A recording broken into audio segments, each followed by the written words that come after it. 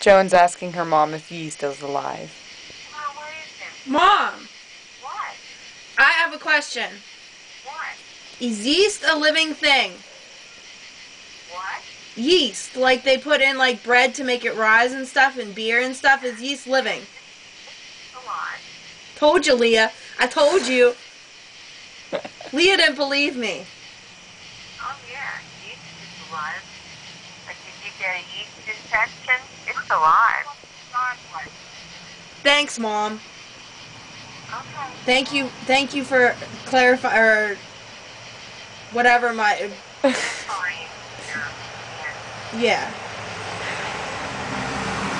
All right, I'll see you in a little bit. All right, tell me what- He's at his house right now, changing.